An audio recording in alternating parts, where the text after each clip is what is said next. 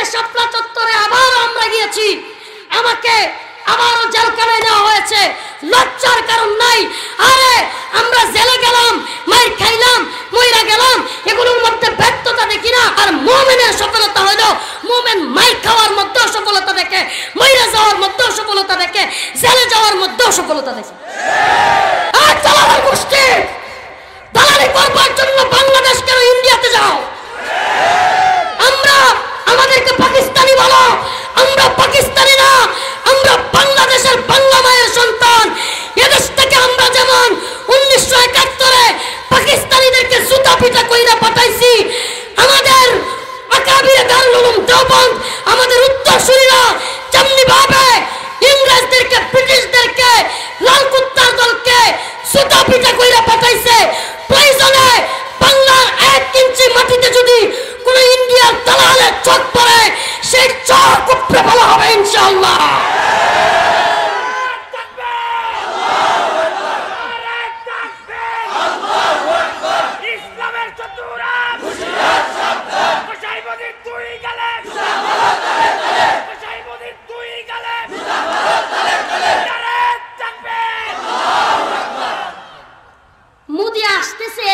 খুশি আমাদের তিস্তার পানির দরকার নাই, দেশের উন্নয়নের দরকার নাই, কোনো কিছুর চিন্তা নাই।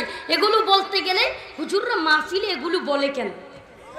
হুজুররা যদি মাহফিলে খালি নামাজের বয়ান করে একবেলার ঘরে পেঁয়াজ দেড়শো টাকা কেজি চাল সত্তর টাকা কেজি, বেলা ভাত খাইতে পারে না, পেঁয়াজ পায় না, এই বেলার অত ওয়াজ শুনে লাভটা কি?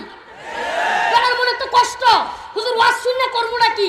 দ্রব্যমূল্যের ঊর্ধ্বগতি, ঘরে খাওয়ান নাই, চাকরি করি, বেতন নাই, এই নাই, সেই নাই এবার ওয়াজ শুনতে করব কি? তা আমাদেরকে কথা শুধুমাত্র ইসলামিক লাইনের বলতে হবে না।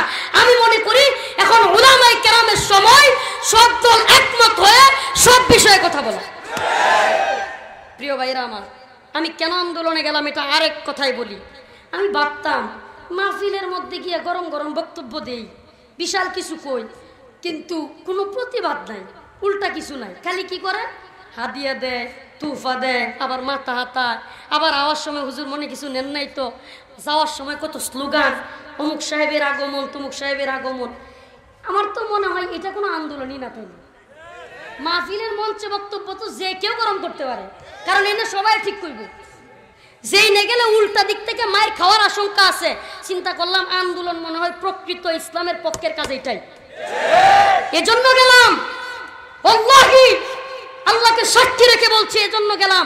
যে মাহফিলের মঞ্চে তো গরম বক্তব্য দেই, কিন্তু এই গরম বক্তব্য তো কাজে আসে না কেন? এরা মনে করে মাহফিলে হুজুরা তো কত কিছুই কর।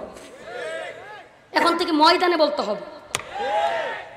আমি হেফাজত ইসলামের আমির, হেফাজত ইসলামের নেইবে আমির এবং হেফাজত ইসলামের মহাসচিব, যুগ্ম মহাসচিব সকলকে বলেছি, হুজুর, আপনাদের প্রতি তাকায় আছে। মুফতি ফজল করিম সাহেব হুজুরের উদ্দেশ্যে বলেছি, চরমনায়ের নাইবে আমির সাহেব হুজুর, আপনাদের দিকে তাকায় আছে। কিছুদিন আগে মুক্তিযোদ্ধা সংগঠন নামের, মুক্তিযুদ্ধ মঞ্চ নামের এক ভুইফুর সংগঠন মুফতি ফয়জুল করিম সাহেব, আল্লাহ মামুল্লক সাহেব, আল্লাহ বাবনগরী সাহেব হুজুরের নামে মামলা করে দেয়। এরা এই যে দুঃসাহস আস্তে আস্তে আমরা দিচ্ছি আমরা এই যে পরিস্থিতি মাইনা নিতেছি সব কিছু ওদের কথা মতো চলতে চাচ্ছি, আস্তে আস্তে অবস্থা এমন তৈরি হবে, আমরা রাস্তায় দাঁড়াইলে ওরা মারবে। আমরা কোনো দলকে ক্ষমতায় উঠানোর জন্য কথা বলি না, কোনো দলকে নামানোর জন্য বলি না, কিন্তু এ দেশের চিন্তা, ইসলামের চিন্তা, মানবতার চিন্তা যাদের নাই, আমরা তাদের বিরুদ্ধে শুধু কথা বলব না, প্রয়োজনে যুদ্ধ করব, জেহাদ করব।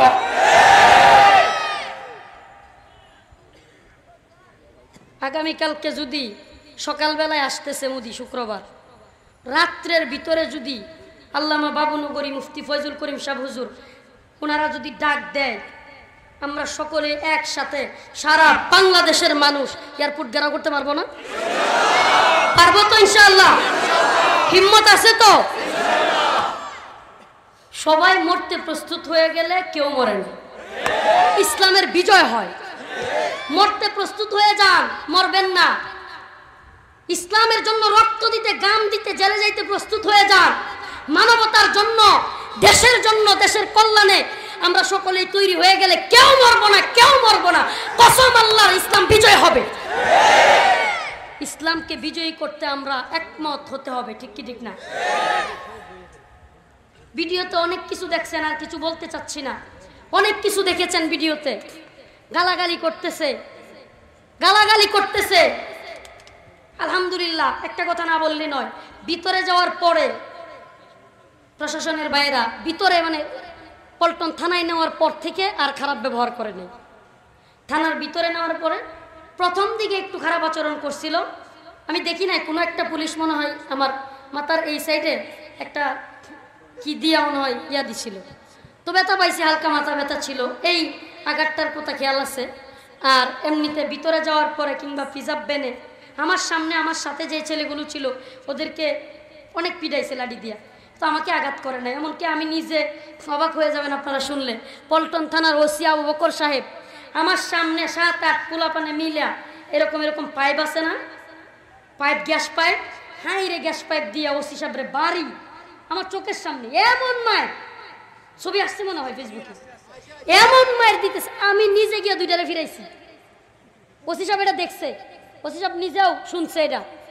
পরে আমার ব্যাপারে উনি নিজেও সুপারিশ করছে যে, হুজুর আমাদেরকে মারে নাই, হুজুর বরং তো মানুষকে ফিরানোর চেষ্টা করছে। আমি যারা মারছে, আবার আরেকটা বিষয় দেখেন, সবাই যে মানবতাহীন এমন না।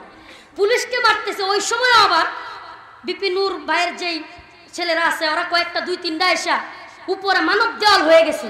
মানে ওসিরা মারতে দিবে না, ওরাও পিঠা খাইছে, আমি দুইটা ঘুষি খাইছি। ফিরাইতে গিয়ে আমি নিজেও আঘাত মানে ইয়া খাইছি। তো এই যে বিষয়গুলো, এই যে বিষয়গুলো, এই পরিস্থিতিগুলো, দেখেন, আমি তো মনে করি শুধুমাত্র বিপি নূর না, ঢাকা বিশ্ববিদ্যালয়ের ছাত্ররা না, কলেজ, ইউনিভার্সিটি, আলিয়া মাদ্রাসা কৌমি মাদ্রাসা, সমস্ত যুবকদের এক হওয়া দরকার, কোন অভ্যুত্থান দরকার, যে কোন অভ্যুত্থানে সব কিছু ধ্বংস হয়ে যাবে কোন অভ্যুত্থান দরকার জাত চাই জাত করে বাঁচতে চাই নারে তাকবীর আলহামদুলিল্লাহ অযথায় কোনো ব্যক্তি আমার এই বিষয় নিয়ে মুরব্বীদেরকে কিছু বলতে যাবেন না। আমাদের মুরব্বীদের মাঝখান থেকে হেফাজতে ইসলামের সিনিয়র সমস্ত মুরব্বীরা নাম একে একে বললে সবার নাম বলা লাগবে, সবার নাম বলার দরকার নাই, বুঝেন। একে একে সমস্ত হেফাজতের মুরব্বীরা প্রশাসনকে ফোন দিয়েছেন। আলহামদুলিল্লাহ। আমরা মুরব্বীদের সাথে আছি, মুরব্বীদেরকে মোহাব্বত করি, সম্মান করি।